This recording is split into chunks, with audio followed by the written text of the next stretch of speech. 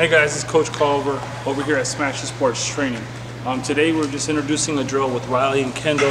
We're just trying to work on lateral movement, them trying to feel the ball on the inside of their glove foot and getting as many reps as they can.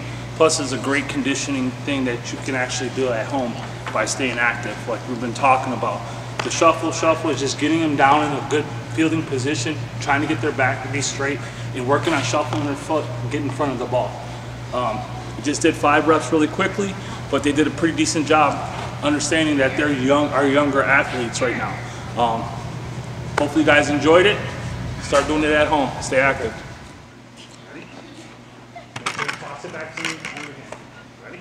Shuffle side to side. Flip. Shuffle, shuffle, shuffle. Shuffle, shuffle your feet. Good. Time to get on the inside of your glove foot. Shuffle, shuffle. Good job. Good job. Come on, Kendall. Good turn. Come on, five. Let's go. Hustle.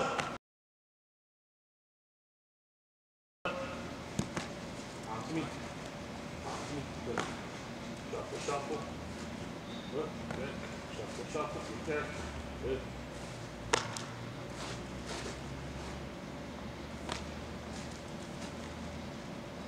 That is good. Good job. All right, guys, so that's it for today's episode of Active at Home. As you can see, a really fun drill that you can do with your son or daughter, whether they're uh, new to the game or more advanced. It just helps keep them moving, helps keep them active, helps keeping the muscle memory of good form, getting in a good stance, and being able to get in front of the ball. So that's it for today's Active at Home. Don't forget, SmashItSports.com for all your baseball, fast pitch, and slow pitch needs.